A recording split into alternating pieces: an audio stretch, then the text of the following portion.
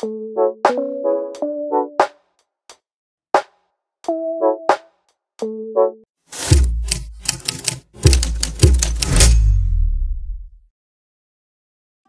guys, Assalamualaikum and welcome back to a brand new video. Today we're in Turkey, we're in the city of Antalya, so come along with us. If you're new to my channel, make sure to subscribe. My name's Halima and I create content on beauty, lifestyle and vlogging and that is travel vlogging. Um, right, without further ado, let's travel around.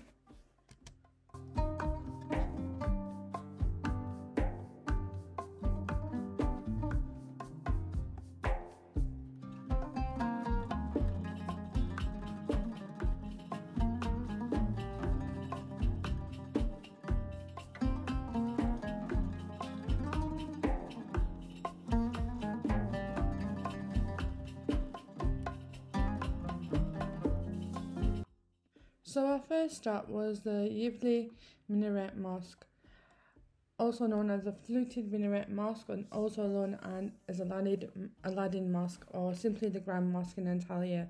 It's an historical mosque built by the Anatolian Seljuk Sultan Kaykubat I. It's part of the complex of structures which includes the Gaysen Kusura Madrasa, Seljuk and Dervish Lodge and its vaults of Nigar Hatun. The mosque is located in the old centre of Antalya along Cumhuriyet Halidese next to Kalikapati Meidani. The mosque's fluted minaret, called the Yivli minaret, which is decorated with dark blue tiles, is a landmark and symbol of the city.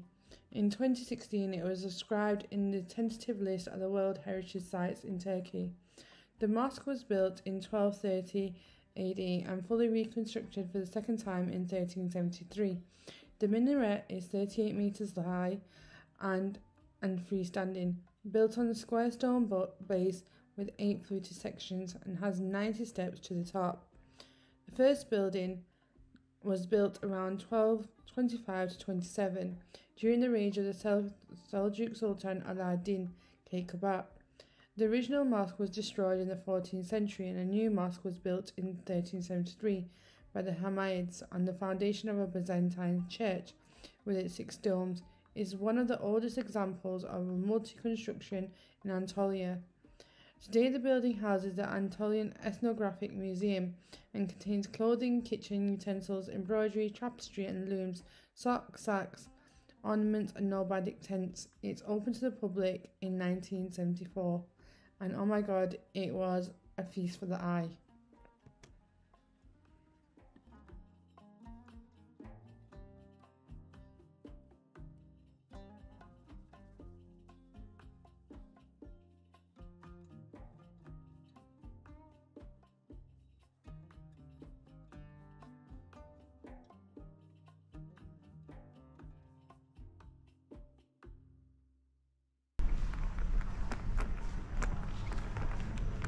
Apparently, I'm using this place so much history to it.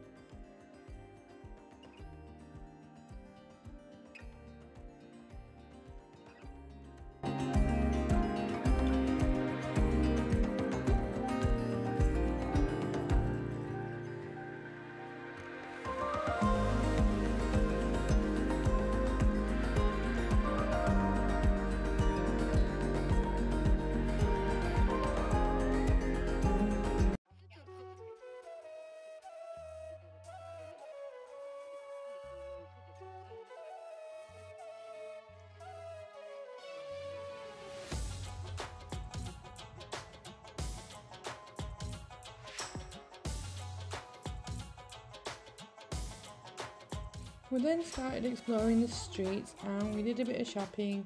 As you know when you're in Turkey you want to get yourself a bit of fake goods. So we bought something for one of each of my family members. And then we carried on walking down the dwindling streets.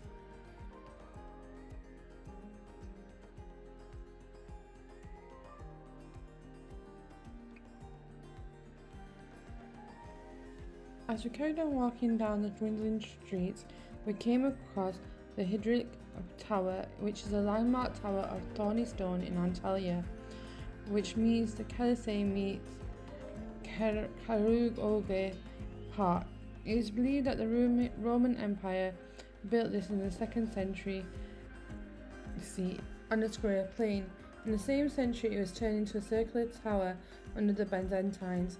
It was used as a military outpost. It has since been used as a fortification or a lighthouse. The tower is situated at the southern side of the palace, where the land walls of the city join the sea walls.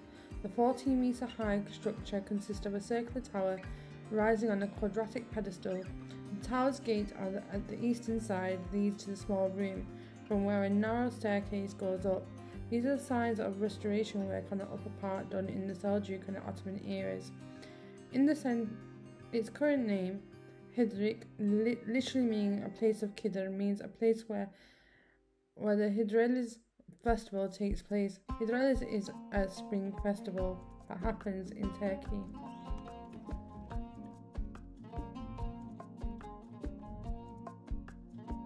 You can see the two Turkish flags as well, that famous Titanic hotel of um, Antalya is.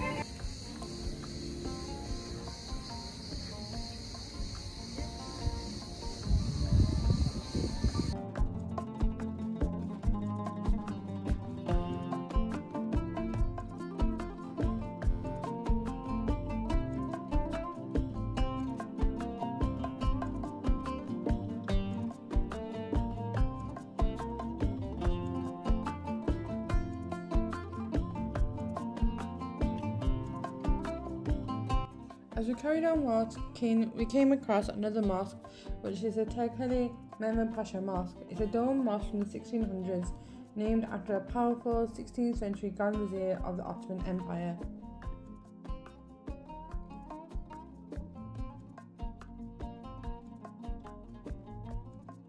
So, right in front of the mosque, you have the Antalya Sak which is obviously being renovated, so you can't see it which is right there here's as we carry on walking, we came across the Antalya Republic Square, also known as Antalya Cumhuriyet Meydanı in Turkish. It's a bustling place in the city centre of Antalya, a beautiful city in the southern Turkey. The square blends Antalya's rich history and modern spirit, featuring a prominent mon- monument commemorating Turkey's founding father, Mustafa Kemal Ataturk.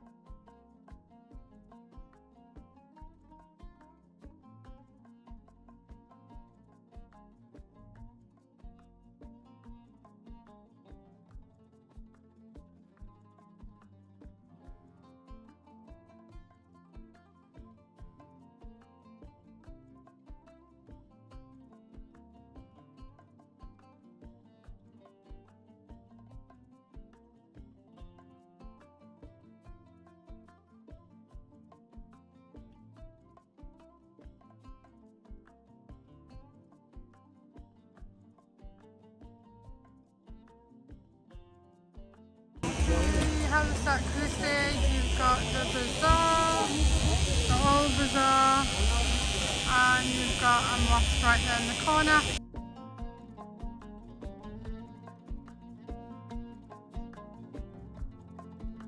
And lastly, we get to see Hadrian's Gate. It's a memorial gate located in Antalya, which was built in the name of a Roman Emperor Hadrian, who visited the city in 130 CE. It was later incorporated in the walls and that surrounded har- the harbour and the city, of which is the only remaining entrance gate today. Right guys, that now brings me to the end of this video. I hope you've enjoyed it. Make sure to give this video a thumbs up if you have. Make sure to subscribe because it'll really mean a lot to me and it'll help me out a lot.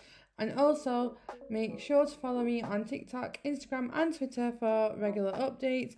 And I'll see you in the next video guys. Take care. Bye bye.